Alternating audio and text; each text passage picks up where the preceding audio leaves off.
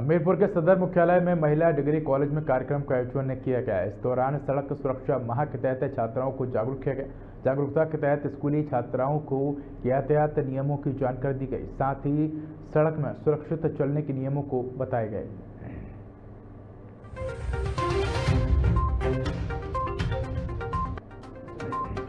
आज हम लोग उच्च शिक्षा वर्ग के विद्यार्थियों के बीच यातायात नियमों, मोटर व्हीकल एक्ट 2019 में बदलाव एवं प्राइमरी एड की सड़क दुर्घटनाओं के पश्चात कैसे उनको प्राइमरी एड दें, इसके बारे में छात्र छात्राओं से हम लोगों ने चर्चा की और उनको विस्तार से इसके बारे में बताया।